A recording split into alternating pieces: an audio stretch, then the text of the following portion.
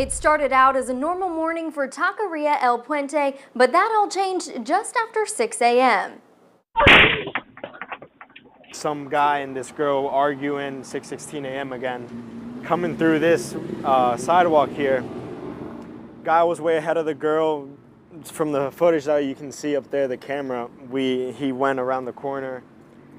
Girl running behind him, all angry, yelling at him. From what we can see, because the camera footage cuts off right about here, he comes back around, just like this, with his hands in his pocket, I believe, or hands behind the back, bangs his head on the window. Gonzalo Rivera and his father own Taqueria El Puente together, and after nine months of renovating the building and five months of being open, the co owners say they would have never expected something like this to happen.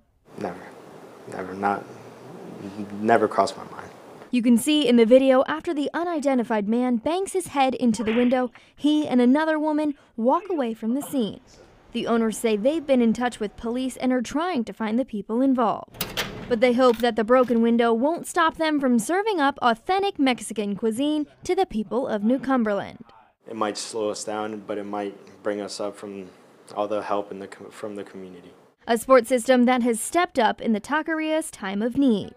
Having a strong community is really big. I won't lie to that fact because ever since this happened, from one day to the other, 24 hours, uh, checking the feed for the shop we have here, everyone was so supportive and loving and just bringing positive vibes. It doesn't cost a dime. The restaurant says despite the broken window, this won't deter them from reopening on Tuesday morning. In New Cumberland, Taylor Hess, WGAL News 8.